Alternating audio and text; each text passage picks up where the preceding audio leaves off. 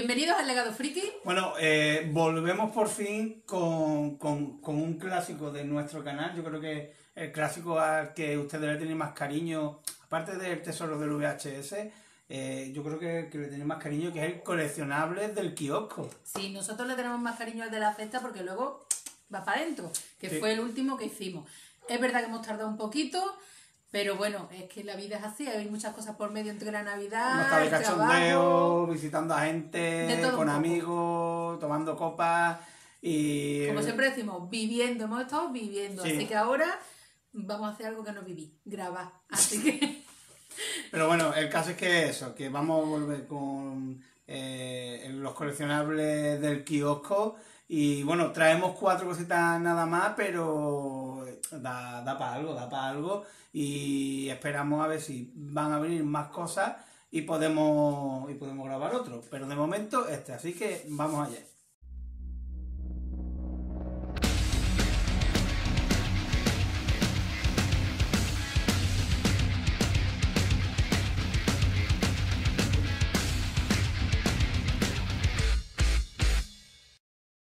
Bueno, lo dicho, son cuatro coleccionables, así que el vídeo va a ser más cortito, con lo cual mejor. Si vemos que acumulamos más, pues será una segunda entrega de los coleccionables del kiosco, sobre todo porque hay cierta, no sé, cierto coleccionable que dan un regustillo siempre añejo que nos gusta, que vamos a echar en falta. Claro, es que mm, lo que viene hoy es casi todo bueno, ¿no? Casi normal. No, no nos podemos meter con ninguno, no viene el de minerales, que es un clásico, aunque ha salido. A tu de- colcha. Claro, el, el, el, el crochet de magnífico, eh, no sé, estamos un poquito desilusionados porque lo que viene son cosas hasta buenas. O No sea, vayas ahí al primar a comprártela, no, no, tírate cinco años de tu vida e invierte 500 euros en hacerte una colcha.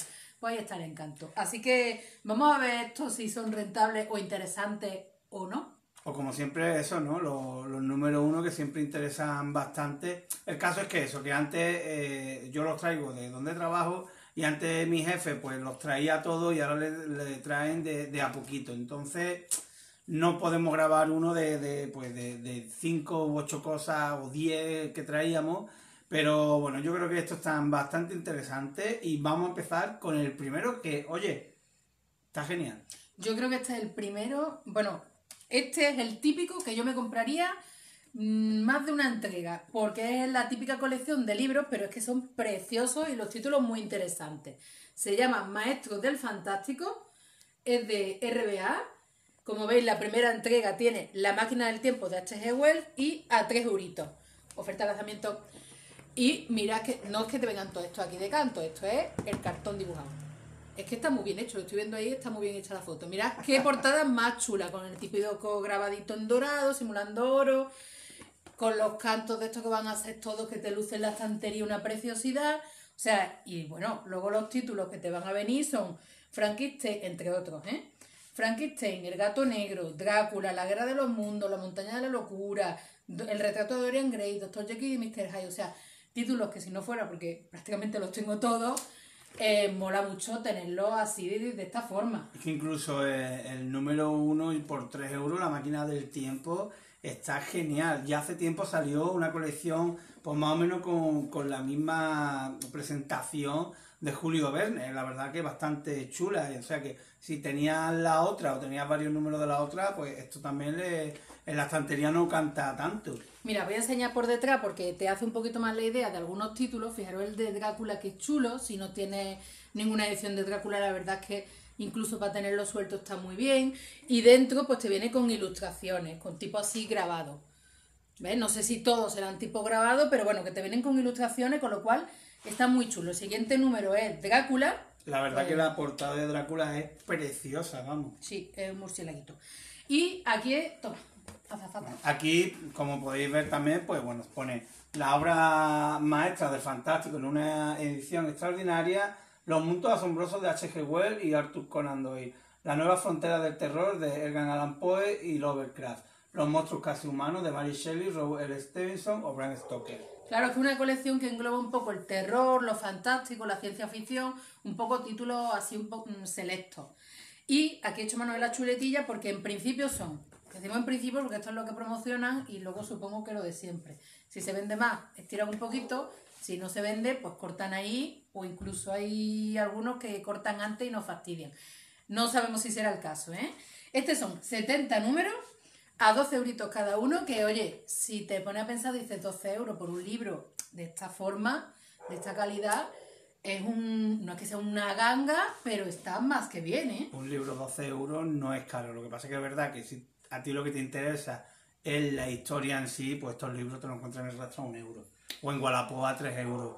O sea que ya es, es para ver la colección, que ya digo, ¿eh? es preciosa. O sea que. Y son clásicos muy buenos. Eh, di, di cuántos son porque yo quiero decir otra cosa. Total, 840 euros, ¿eh? Eh, Bueno, pero lo dicho, que te tiene una colección de 70 números de muy buena calidad. Que es lo que decimos, estos títulos son muy universales, lo mismo, lo mismo, si te lo quieres leer incluso te los puedes descargar, pero si quieres tenerlos chulos, a ver, que no ni es promo ni nada, evidentemente, que parece que es promo, teletienda. Que RBA nos va a dar una mierda por decir que lo compré, vamos. Lo mismo incluso dice, no saques mis cosas sin derecho y nos quita y todo. Bueno, no porque no ve nadie, no creo que entremos en esa liga. El caso es que yo lo veo chulo. Si no lo tuviera, me lo pensaba. Al loro, porque eh, nuestro equipo de investigación Oh. ha estado investigando pues todos los, los números que hay. Me dejas muerta. Eh, vamos, eh, ya digo, está mirando 10 segundos en el ordenador y hay un poco de bastante trampa. Bueno, ¿qué es lo bueno? Que si compramos los libros que nos interesan, pues oye, no están mal y tenemos pues el frontal precioso. ¿Qué es lo que pasa? Que los primeros 15 números pues más o menos son eh, de lectura obligatoria. Rápidamente. La máquina del tiempo, Drácula, Frankenstein, El gato negro y otros cuentos de imaginación y misterio, entre ellos de Edgar Allan Poe. La guerra de los mundos, eh, Dr. Jekyll y Mr. Hyde, El retrato de Dorian Gray, El mundo perdido, El hombre invisible, En la montaña de la locura, El fantasma de la ópera, No es que te vengan dos libros, dicho en dos partes. la, la peste escarlata, El último hombre, La isla del Dr. Moreau y La llamada de Chutul. Todo bueno. Todo eso está bien, pero es que luego, desde el 15 hasta el 60 o 70 que hemos 70. dicho, ¿Mm? pues, a ver, yo sinceramente eh, no soy un gran ávido lector de libros, pero eh, Cuentos de lo Sobrenatural, eh, La guarida del gusano blanco, El vagabundo de las estrellas, el caso de Charles Dexter Ward, eh, La princesa de Marte, bueno, eso sí lo conocemos por la peli, o lo conozco yo, El abismo de Macarot, eh, Antes de Adán. A ver, sí son buenos, ¿eh? Sí son buenos. Bueno, mm, Pero no son 100% muy. pero- La muñeca sangrienta. eh, ella, la mujer eterna. El monje. Nosotros. mm, a ver, que ya no son. A lo mejor, ya, a lo mejor ustedes estáis empollados en el libro y dicen, pero idiota, digo que son geniales todos. Pero oye, el que no sea lector de libros mm, extremo, la verdad que habrá mucho que le echará para atrás, ¿eh? Pues, Ya digo, los primeros 15 sí que son de primera línea, pero los otros, por lo menos... A ver, yo le veo también una ventajilla, que es verdad que al final, quieras que no, quien le gusta este tema, todo el mundo tiene su edición de Drácula, su edición de Frankenstein, su edición de Dorian Gray, y al final dice, me voy a hacer una colección de títulos que ya tengo, como en mi caso. Pero bueno, a lo mejor de los que van del 15 hasta el 70 son títulos que no tenemos y merece más la pena. No lo sé, cada uno como siempre que lo valore. Un Morlock. El caso es, el Morlock, caso... coño. Y, Está, el Morlock. Claro, si no está en ese libro, ¿en cuál va a estar? Bueno, el caso, vamos a los regalitos, que es lo que más mola al final. No se han estirado mucho. Preciosa. Sí, la colección está muy chula. Pero los regalitos, un poco. Eh, A ver, no, espérate. Es que cuaderno de notas, no pone elegante cuaderno de notas. Sí. Es distinto, es un cuaderno negro. cuaderno negro con línea para escribir para que no te salga. No sé, a lo mejor se te pone un monóculo si vas a escribir en ese. El regalo cuaderno. estrella de estas colecciones. Bueno, frontispicio en gran formato de Drácula, Frankenstein, la máquina del tiempo y el mundo perdido. Unos postes, una forma de llamar Me unos un postes. WhatsApp. Serán los de RBA. Una suscripción de seis meses al National, al National Geographic. Bueno, bueno. Seis meses, ¿cómo tiene que estar de devaluar el National Geographic ahora para que te lo den así? No, estará bastante bien porque la- por lo general te dan un año. Gente solo te da seis meses. Bueno, Venga. y Y no lo verdad que si hemos tenido poco con los postes, cinco ilustraciones de la Guerra de los Mundos.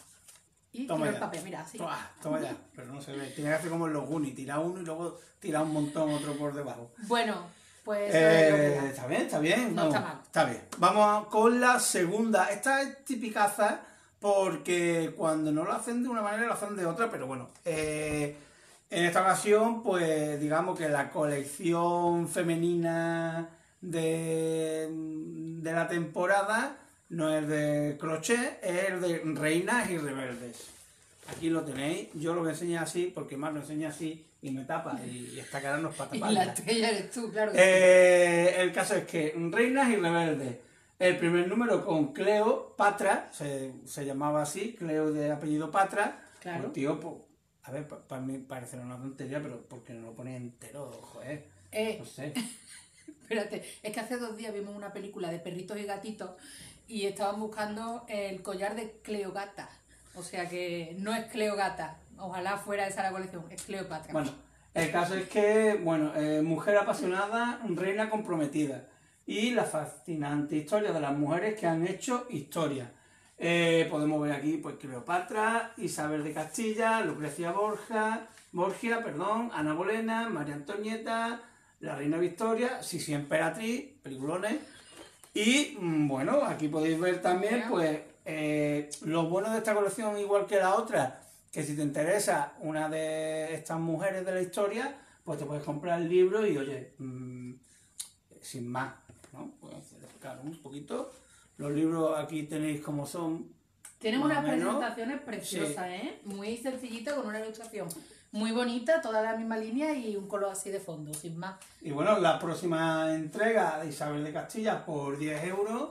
Aquí pues primero por 3 euros, que oye, pues un librito con la historia de Cleopatra por 3 euritos no, no está nada más. La portada muy bonita y ya digo, eh, resca- rescatamos su vida y su retrato. Releemos a los historiadores y literatos clásicos contextualizados, toma más salido del tirón, eh, sus textos y los despojamos de sesgo para construir la visión más veraz de la vida de nuestras protagonistas. Muy bien. Eh, ya digo, no está mal.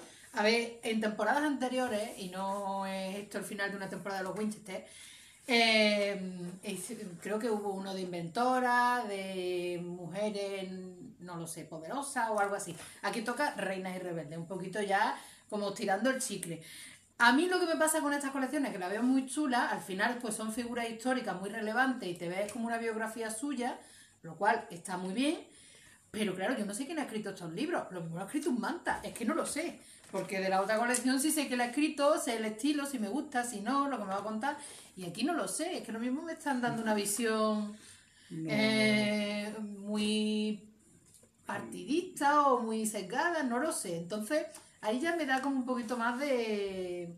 No sé, es que yo hace tiempo, en mi casa, mi madre se hizo una colección, creo que era de inventores históricos, una de estas que sacan de este mismo tipo, y yo me estuve leyendo cuatro o cinco de ellos, y algunos estaban muy bien, pero otros es que estaban muy mal contados. Entonces, yo creo que este, lo que me falla a mí es esto. Esto lo habrá hecho alguien por Wikipedia y ya está, supongo.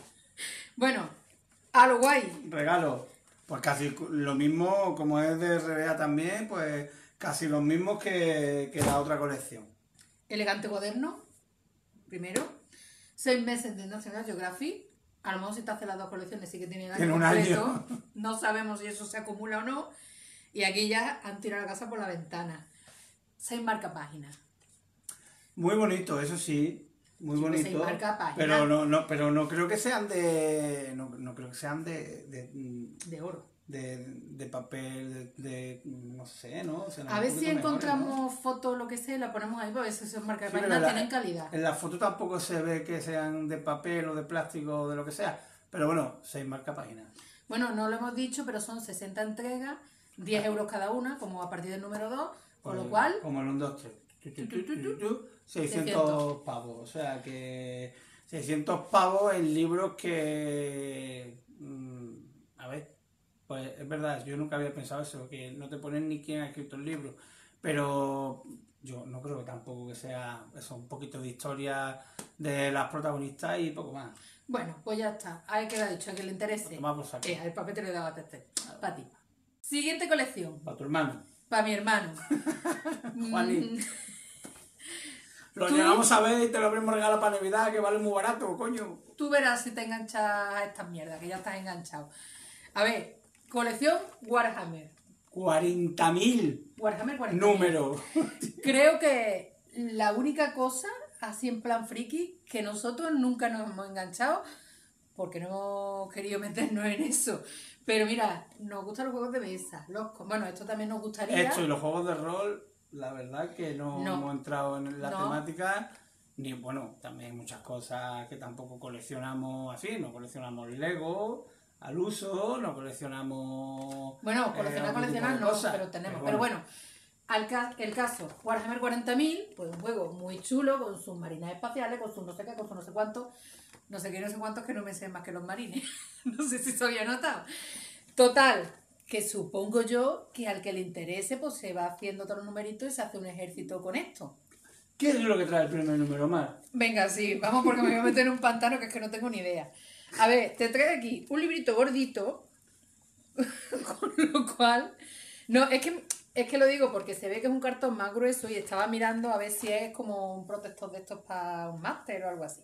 Bueno, pone Introducción a los marines espaciales, descubre a los letales necrones y aprende a jugar tu primera partida. O sea, muy vida. ¿Pero qué es lo que trae? ¿Qué muñeco trae? Copón. Vale, y te trae aquí las primeras miniaturas, dados y medidor, todo lo necesario para tu primera partidita. ¿Qué figura? Pues no lo sé. Ah, sí, un guardia real y un teniente primario.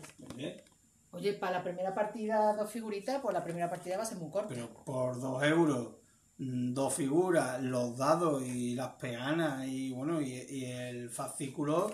Oye, yo no sé cómo. Yo creo que son de estos. eh, el que esté enganchado a este tipo de juegos se comprará todos, todos los que hay para tener un montón de del mismo personaje. O sea que. A ver, yo pienso que a lo mejor esto está hecho más para padres que ya están viciados a esto y a lo mejor tienen a los chiquillos que quieren viciarlo un poquillo o que se aficionen y a lo mejor hacen un tour coleccionable, va teniendo su ejército, no sé, porque lo veo como muy de iniciación y uno que juegue a lo mejor ya, ya está más que curtido en estas cosas. Guar- Guardia real, que quieres 20 guardias reales, pues te gastas 40 euros y tienes 20 guardias reales. Eso está muy bien pensado.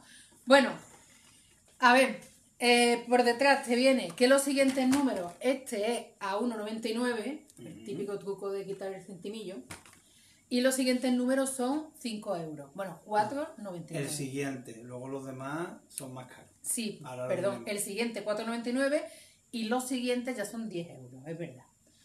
El número 3 te viene aquí con unos muñequitos azules que serán, yo que sé lo que los, son. los de estos son los, Interceptores de asalto. los eh, interceptores de asalto. Bueno, y un botecito de pintura. Oye, que las pinturas de estas de pinta miniatura están muy chulas y sirven para mucho. Si te vinieran solo los coleccionables de pintura, me lo hacía. En el número 4, más bichos. En el número 5, más bichos. Y entre bicho y bicho, pues de vez en cuando te dan una pinturita. Ya ahí no sé más. A mí lo que me gusta es esto, que por, cómo te lo venden en plan de que esto es, bueno, es cultura, por supuesto. Igual que las pelis de Jean-Claude Van Damme son cultura, las de Chuck Norris son mucho más que cultura. Pero eh, colecciona artículos que recorren, eh, que recogen las historias de tu miniatura mientras juegas partidas con ellas. Lee sobre Warhammer 40.000 para inspirarte a, media- a medida que crece tu colección de miniaturas. Monta eh, tus fuerzas cada, un, cada semana siguiendo sus instrucciones paso a paso. Pinta eh, tu colección con primera eh, con pintura acrílica y pinceles según prácticas y, y, y sencilla guía. Según práctica es sencilla aquí. Ah, vale. Que te pilla del revés. Dicho practi- prácticas. Eh, juega apasionantes partidas sobre el tablero mientras aprendes con vídeos y tutoriales detallados. O sea, Yo ya me he cansado. en verdad que, que- que Bueno. cansancio. Que aquí es que somos muy patatas para decir, mm, de muñequito. Esto, el que sepa, que nos diga realmente si esto merece la pena o no, porque esto no sabemos valorarlo. Si merece la pena, por ejemplo, por 2 euros comprarte eh, dos muñequitos de estos, o si merece la pena comprarte 10 números y tener 20 muñecos. O sea, porque dado te vas a hinchar de dado. Regalito. Ah, sí, los regalitos. Oh, regalitos. Bueno, estos van a ser 80 números, ¿eh? No lo hemos 80 dicho. números eh, que- y eran que a 10 euros. En los eh, siguientes números a 10 euros. 800 pavos en muñequitos, pero vamos, que conocemos a alguien que se lo está más. Sí, además, esto es lo típico. En algunas entregas te vienen 4, en algunos te vienen 5, en algunos vete tú a saber. No sé qué cantidad de muñecos tendrás al final. Regalito. Regalito. Venga, un kit de modelaje Citadel. El kit tiene un pegamento, una liguita y una tenacita. Bueno. Bueno, está bien. Eh, Lo una- vas a usar si te compraste estos fascículos. Claro. Un archivador y separadores para Para que- tu fascículo. Para que no se peleen, separadores. Está muy bien. Una selección esencial de pinceles Citadel, tres pinceles. Citadel es una buena marca algo así, tú que Sí, de entiendes miniaturas y la más típica. Y luego, un soporte de pintado. Eso mola un montón, a mí me ha gustado un montón. O sea, a ver, al final es como si pones un vaso de tubo de cerveza cuando te la bebes boca abajo y pones encima el muñeco y lo pintas, pero tiene como una sujeción, está muy chulo, a mí me ha gustado, más resulta curioso. Bueno, pues sí, curioso. Está, Y- dejándome por tonto. No, es bueno, que, los que veáis es que- Warhammer y los que la coleccionáis, decirle que es una pringada. es que lo estoy viendo aquí, la forma y digo, joder, pues qué chorrado, pues pones ahí algo que le ves la figurita, no, la sujeta con una pinza. Es que de verdad es que cuando no entiendes de algo me, me da una pereza explicártelo. Vamos a ver. Tiene la base, tiene un peso para que no se mueva mientras tú estás pintando. Y arriba tiene una sujeción para que coja el muñeco. Es como si yo hubiera estado trabajando toda la vida con eso, pero no, es que lo acabo de ver. Bueno, nos quedamos lo último y lo mejor. El exclusivo Bueno, set de lámina. Sí, que te puedes dejar en cualquier lado y. Bueno, pasarla. todo te lo va a descargar. No, te lo compras. Warhammer 40.000 Imperium eh, mola mazo. A mí son de estas cositas que me, me gustaría comprármelas para tener las dos figuras y ponerlas ahí y ya verlas de vez en cuando nada más, pero ¿Pa' qué? que, que vale 2 euros, coño, es muy barato. Y luego hay que pintarla. Nada. Bueno, pero por eso estás tú, que pintas muy bien. Yo, como no pinto nada. Ay, ya me la has quitado. Bueno, y ahora yo creo que lo. Bueno, eso era muy friki también, la verdad, lo de Warhammer. Pero algo un poquito más friki, aunque nosotros al manga no le tenemos eh, mu- no mucho seguimiento, digamos, pues eh, atención, el manga de. Yo creo que alguna que otra vez lo había visto, por ejemplo, pero ni lo sabía. Eh, Fairy Tail. O sea, no Mistol Tail, sino Fairy Tail. Eh, bueno, eh, de Hiromashi. eh, Perdón. De Hiromashima, el famoso escritor y dibujante de manga. Y la verdad que, joder, por, a ver, el primer número, por 4 euros, este pedazo de tomo, de tomo y lomo, es brutal, vamos. Aquí lo tenéis. La verdad que está bastante bien. Eso que se oye es nuestra perra que está roncando, parece Darth Vader. No sé Pobrecita. Qué bueno. Bueno, hemos hecho un corte, no sé cuándo, porque estaba el animalito ya pegando convulsiones y tal, y bueno, no, ya está. ¿Qué estaría soñando? ¿Qué estaría soñando? Que eso, eh, la verdad que el tomo está brutal, es a todo color, yo pensaba que iba a ser un tomo en blanco y negro, por el precio, eh, no sé, me da la sensación de que, de, de como que es como malillo, porque es que un tomo así de, de Panini mm, pesa muchísimo más. O sea, no sé, si alguien lo va a comprar, porque en comentarios nos diga, no, Diego, eh, merece la pena, no merece la pena, el papel es que en estas ediciones es así. Y bueno, el caso es que la obra completa eh, de Fairy Tail, edición integral, con extras, eh, póster en cada cómic, son 13 cómics a 13 euros. Y bueno, la, la verdad que, oye, mm, son de estas cosas que si saliera esto, pero del motorista fantasma o, o de cualquier tipo de cosa más interesante para mí, me lo compraría sin dudarlo. Eh, hay un segundillo que has dicho 13 comi a 13 euros, creo que has dicho. Sí. 36 comi. Digo, ostras, una colección corta. No, 36 comi a 13 euros, ¿eh? Bueno, sí, vale. Bueno. Total, eh, ¿qué Pero es la... que son 400 y pico euros. Sí, ¿qué es la trampa y lo chulo de esto al mismo tiempo? Que esto no es como los otros libros que hemos dicho que si te interesa un numerito o dos, te lo compras y ya está. Esto realmente es para gente muy aficionada pues a este cómic, que lo quiera tener completo y una vez que empieza no te vas a hacer cinco números luego cortar y dejar la historia a la mitad, es que no puede ser. Lo- Si empieza, tienes que estar dispuesto a terminarlo. Lo que no sé es si, por ejemplo, a lo mejor este tomo, pues tiene a lo mejor un, a- un arco más o menos autoconclusivo, ¿no? Entonces, oye, si quieres leer algo nuevo y oye, esto en cualquier eh, kiosco al lado de que tienes que coger el autobús, dices tú, venga, pues, pues, coño, pues ya la veo, por cuatro euritos son viajes la mar de apañado. Yo es que no tengo ni idea de, de lo que va esto. lo típico, el, el dibujo del lomo lo hace precioso como este tipo de cosas. Y ya digo, el número 2 por 899 por 8,99 euros. Hostia, en el 2 de la clava, vamos. Y bueno, eh, bienvenido a un mundo de magia, de humor y de combate. Mm, Ya digo, mm, si, si, entendí un poquito del tema, nos decía la oye, Diego, pues esto va de esto, esto, esto y esto. Eh, está bastante bien. Bueno, mira, en el libro número uno, Lucy, una joven maga, sueña con unirse a un famoso gremio de magos, Fairy Tail. Tras su encuentro con Natsu, un cazador de dragones, y Happy, un gato intrépido, ya mola eso. Sí. Eh, el sueño de Lucy se hace realidad. Tapatín, patatín, patatá. Pues no lo sé. Eh, ya digo que pone a todo color, pero las ilustraciones que se ven aquí son en blanco y negro, ¿eh? No sé si es lámina, que te viene como unas láminas extra. Extra, más páginas a color, más pósteres inéditos. Bueno, pues no, no dan a entender no sé, eso. No sé, no sé, ¿eh? Ahí- Bueno, lo dicho, quien se lo compre, Que nos lo que diga lo también. cuente y lo aclare. Por si hay y a los demás, pues leer los comentarios, por si alguien lo, lo explica un poquito. Es que me entran hasta ganas de comprarlo, pero al final me lo voy a leer una vez y ahí lo voy a tener. Regalito, eh, pues un llavero de Fairy Tail, pues está bien. Eh, tres láminas exclusivas diseñadas por Hiro Mashima, supongo que para esta colección, supongo.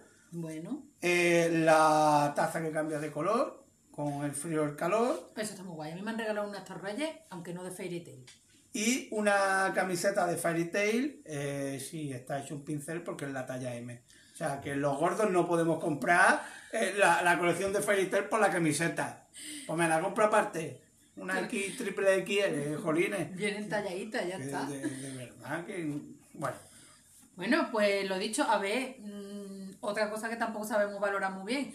Tener realmente una colección así de 36 números por 400 y pico euros, pues oye, está bien de precio, está dentro de lo normal. Es un formato así grande y ya sería abrirlo y ver la calidad que tiene. No está mal para quien le guste esto. Yo, desconocedora, no me la jugaba, evidentemente, ni me la voy a jugar.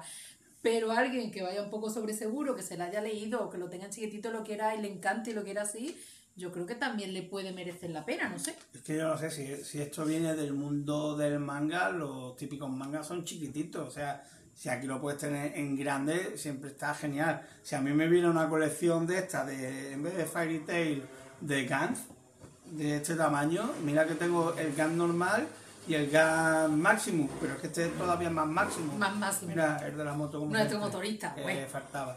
Y ya digo, me, me la compraría sin dudarlo porque es el manga específico al completo. Este, pues no vamos a picar ni con el número uno. La verdad que es que de estas cosas me entran ganas de comprarme el de la máquina del tiempo porque es una edición preciosa, pero es que tenemos ya Lo dos tenemos. ediciones. Sí. Además, cualquier día, estos son carne de, de rastro. O sea, cualquier día lo encontramos un euro y. y por Comprároslo lo bonito vosotros y luego tirarlo en 5 años, que luego no lo compraremos nosotros en el rastro de un eurito. No tenemos prisa. Eh, ya está. Ya, Ya está, breve. Lo bueno es que breve. Bueno, breve. Al final el vídeo de 20 minutos para arriba con el rollo de que hacía mucho tiempo que no hablábamos de los coleccionables del kiosco.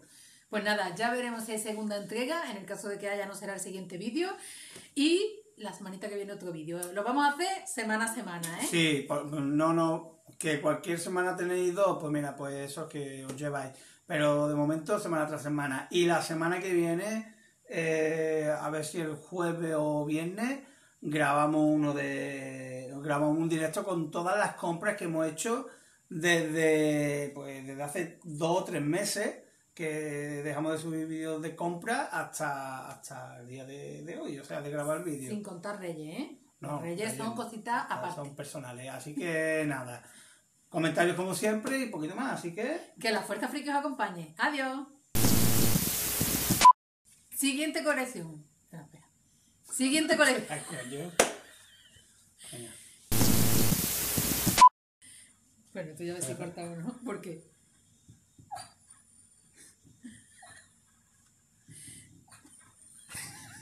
Dios. ¿Qué estará soñando?